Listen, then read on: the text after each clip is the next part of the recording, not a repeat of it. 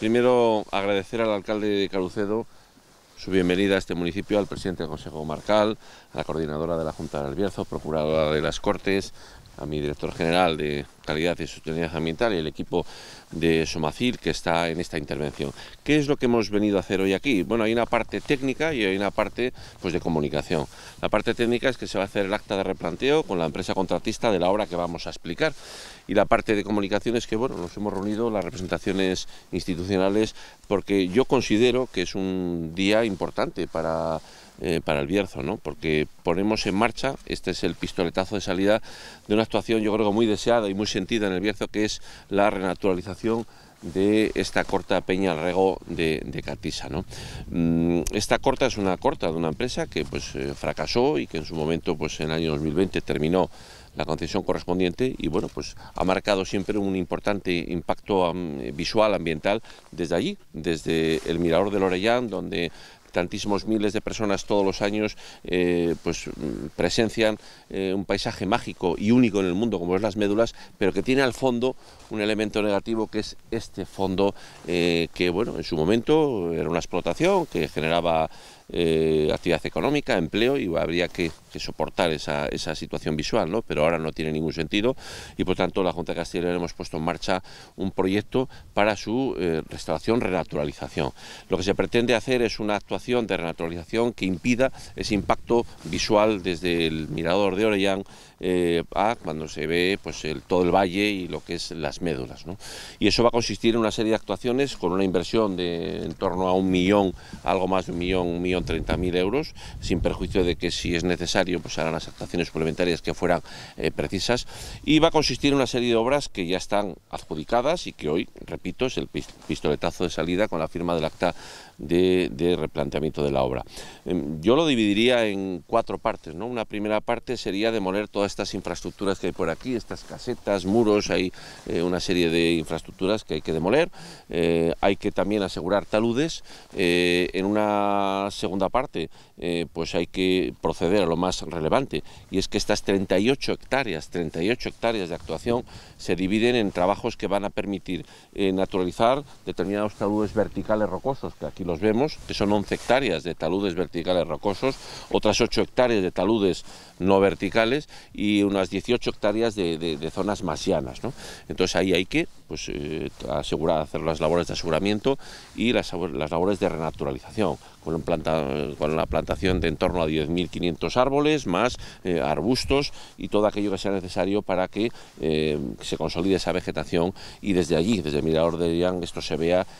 sin impacto visual respecto al, al conjunto del entorno. después también hay otra cuarta actuación, la cuarta actuación es que hacer los drenajes correspondientes y los asesoramientos, balizamientos para que el transcurrir de las aguas sea correcto y no, y no perjudique a los, a los cursos de agua permanentes que hay en la zona y, en definitiva, finalmente, con un trabajo de 14 meses previsto, eh, pues conllevará pues, eh, un estado que irá mejorando eh, progresivamente, porque en definitiva estas renaturalizaciones, las replantaciones, las repoblaciones con árboles no crecen de un día para otro, necesitará un tiempo de consolidación y por tanto camina todo ello hacia eliminar ese impacto visual y poner en marcha este programa tan ambicioso de, de reconstrucción natural del Bierzo desde el punto de vista de la eliminación de los restos de la fracasada minería eh, del carbón, tanto la de interior como la de exterior. Eh, comenzamos primero en, Villablino, la zona de Villablino, los municipios de Villablino y de Cabrillanes, donde ahí se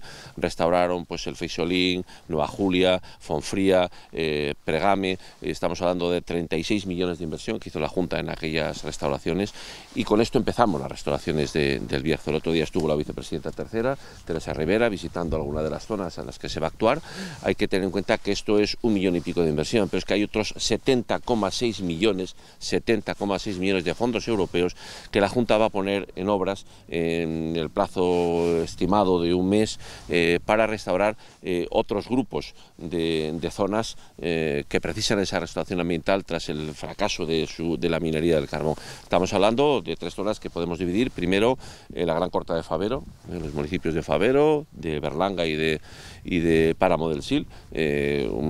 una corta paradigmática ¿no? y un paisaje verdaderamente que quien lo conozca eh, asombra ¿no? y que va a conllevar pues, un importante proyecto de restauración con muchos millones de euros eh, para hacer lo mismo, renaturalizar y restaurar el, paisaje y, el, y, la vegetación. En segundo lugar, también se actuará en las zonas degradadas por la minería de los municipios de Torre del Bierzo y Villagatón Brañuelas y en tercer lugar también actuaremos en Igüeña. En Igüeña está una mina de cielo interior, eh, o sea, de cielo interior, de interior,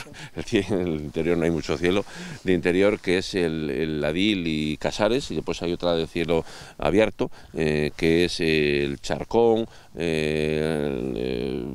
se llama el Charcón, Pico y otro nombre, ¿no? la zona de de, exterior en todo el municipio de Igüeña. Por lo tanto, tres actuaciones que en total va a suponer eh, pues 70,6 eh, millones de euros, en total 1.060 hectáreas de restauración, estas tres que estamos diciendo, y que creará también empleo, porque en definitiva se crearán en torno a 200 empleos para estas labores durante los varios años que va a durar estas actuaciones. Eh, consideramos, eh, yo desde luego como amante del Bierzo que soy, y la Junta de Castilla está eh, muy satisfecha de que podamos empezar, una vez que ya terminó la minería, no vamos a insistir en el, en el mensaje de la minería, cerrada anticipadamente, y más como se está demostrando ahora con la crisis energética que vivimos, pero vamos a los hechos consumados,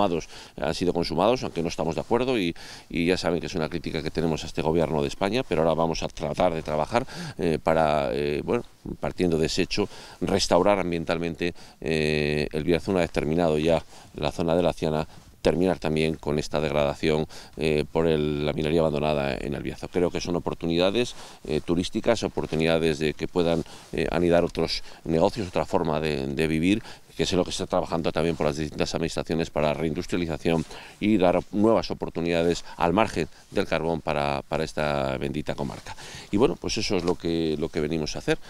ahora nos explicarán un poco los trabajos que se van a hacer aquí y después daremos una vuelta para verlo y si alguien tiene que hacer alguna pregunta, pues eh, yo estoy dispuesto a contestarla si puedo.